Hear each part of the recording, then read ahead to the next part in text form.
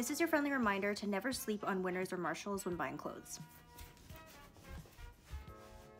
This dress was $25, okay? It feels just like Skims. It has the slit, it hugs in all of the right places.